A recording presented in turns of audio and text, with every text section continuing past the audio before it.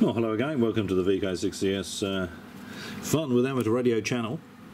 Don't know whether you'd be interested in this or not, really, but um, this is just the, uh, the little Pelican box that uh, gets taken out in the field with the radio techs.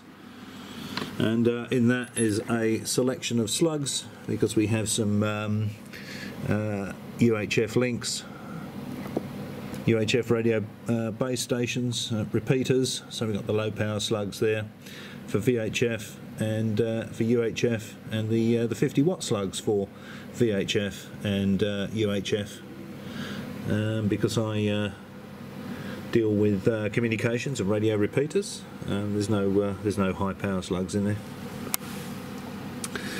Um, and Something I didn't tell you, if you're not overly familiar with these meters, when, when I showed you it,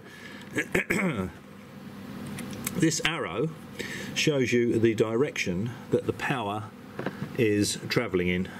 So you have the transmitter here, the antenna there, the power's going that way, so it's indicating the power delivered to the antenna.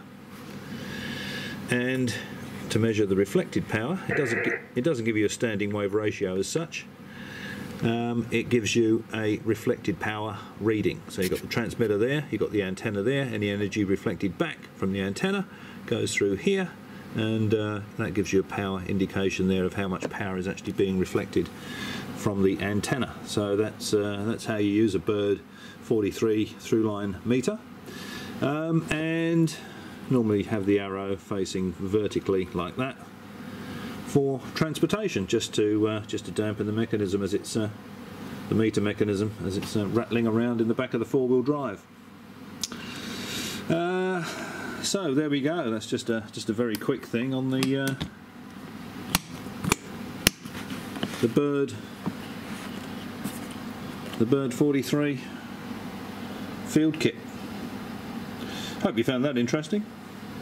As always, thanks for watching. Catch you next time.